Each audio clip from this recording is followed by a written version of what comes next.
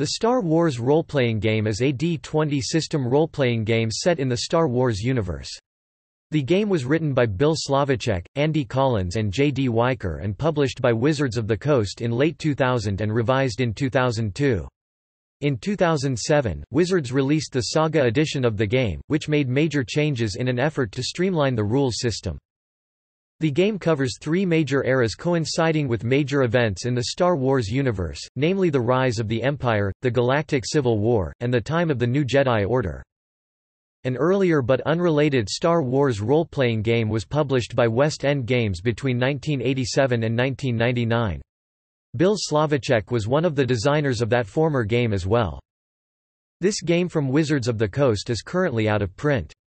The current official Star Wars role-playing game is the game of same title published by Fantasy Flight Games.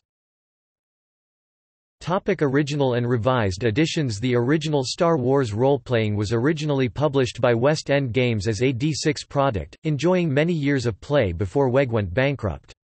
The D20 rebooted Star Wars role-playing game originally came out around the time of the release of Star Wars Episode I, The Phantom Menace. It included statistics for many of the major characters of that movie. The later revised game included material from Star Wars, Episode II, Attack of the Clones and changed various feats and classes. The Star Wars role-playing game uses a vitality, wound point system instead of standard hit points, dividing damage into superficial harm vitality and serious injury wounds. A character gains vitality points just like hit points in other D20 games, and rolls for them each level and adds their constitution bonus. A character's wound points are equal to their constitution score. Most game mechanics are familiar to players of Dungeons & Dragons and other D20-based games. Characters have six ability scores i.e., the standard strength, dexterity, constitution, intelligence, wisdom and charisma, a class and level, feats, and skills. Most actions are resolved by rolling a 20-sided die and adding a modifier. If the result equals or exceeds the difficulty, the check succeeds.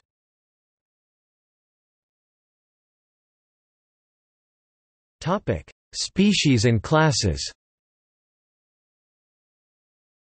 As with most D20 system games, Star Wars offers playable races called species and classes to the player characters PCs.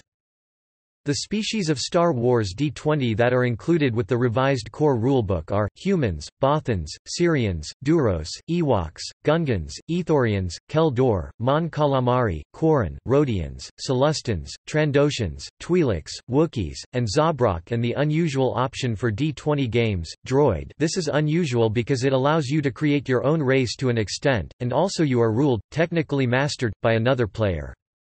The character classes are Fringer, Noble, Scoundrel, Soldier, Force Adept, Jedi Guardian, Jedi Consular, Scout, and Tech Specialist added with the revised edition. Prestige classes allow advanced characters who wish to specialize in certain suites of abilities to join a class devoted to them. For example, Jedi with special talents at helping others can choose to specialize as a Jedi healer, while a blaster-wielding mercenary might earn a reputation as a bounty hunter. The core rulebook includes the Jedi Master, Jedi Ace, Crime Lord, Elite Trooper, Starship Ace, Officer, Darkside Marauder, and Darkside Devotee. Supplements to the core rulebook introduce many more prestige classes. Saga Edition changed things around and made Force Adept a prestige class.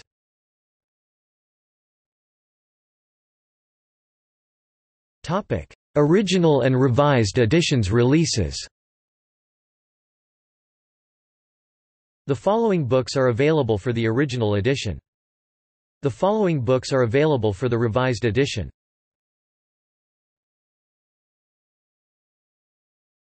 Topic: Saga edition. On June 5, 2007, Wizards released Star Wars role-playing game Saga Edition Core Rulebook. The game was streamlined to be easier to play and a greater emphasis was placed on miniatures. Some of the major changes include Standard hit points have replaced the former Wounds – Vitality system. Each character begins first level with three times their maximum hit die in hit points based on their class which is modified by the character's constitution bonus. Jedi and soldiers for instance, have a hit die of d10, and begin first level with 30 hit points plus con bonus. Characters then roll a hit die for additional hit points as they progress in level. Characters also have a condition track which measures how much they are currently impaired.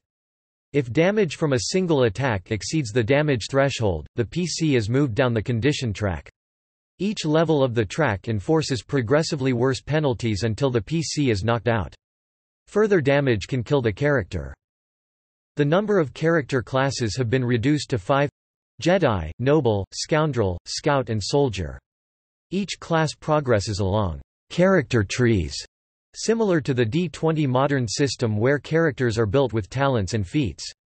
Jedi for instance, can follow talent paths such as Jedi Guardian, Jedi Consular, plus the new Jedi Sentinel and lightsaber combat talent trees. This allows for greater customization and more variety amongst characters of the same class.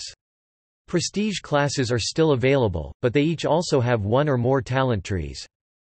Saving throws have been changed to a series of defenses.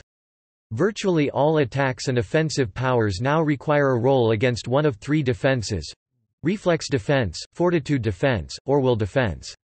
These defenses are analogous to both saving throws and armor class or defense as in the previous system in other D20 games. Skill points have been eliminated. Characters have a number of trained skills they can pick based on their class and intelligence bonus. When a character makes a skill check, they roll a d20 and add half their character level plus any other bonuses. If they roll for a trained skill they get a plus 5 bonus to the die roll, and certain applications of some skills cannot be attempted unless trained in the skill.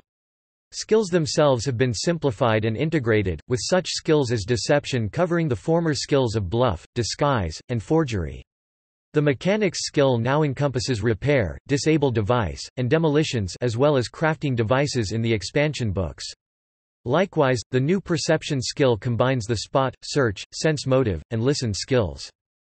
Force-sensitive characters now have a single, use the force skill, which allows them to do a number of things such as moving small objects and searching their feelings. Force powers are special abilities such as force choke or move object that form a suite of powers, similar to a hand of cards, which are used up, and recharge between encounters. All force powers involve a use the force Skill check, and a greater margin of success on the check will produce a stronger effect. Force users can also select talents related to the Force, and prestige classes grant Force techniques and Force secrets which further improve their ability to use the Force. The game includes an optional destiny system. Characters receive destiny points, which are more powerful than Force points. They allow such things as scoring an automatic critical hit without rolling, gaining three force points, or automatically succeeding at a virtually impossible task. Destiny points are used to help characters with a predetermined fate usually determined during character creation eventually fulfill their specific overarching goal. The character class attack bonus progressions no longer allow for multiple attacks during a full round action. Instead, a character wielding a single weapon must pick the new double attack feat for one extra attack and triple attack feat for two extra attacks, but both incurring significant attack roll penalties uniformly to all attacks that turn. Multiple attacks are, in general, less common, streamlining and speeding up combat turns. Rules and stats for NPCs have been refined. There is only one non-heroic class for NPC characters. They do not get heroic defense bonuses, their hit points are limited to 1d4 plus con bonus per level and they do not receive triple maximum starting hit points at first level, they receive less ability score increases for every four levels they have, and they get only the feats granted by gaining levels. Non-heroic characters do not gain talents. Non-sentient creatures in the game use the beast class and gain 1d8 plus con hit points per level. Many minor bonuses have been eliminated. Alien races and classes now rarely grant bonuses to skill checks, instead they often allow a reroll of the check under particular circumstances.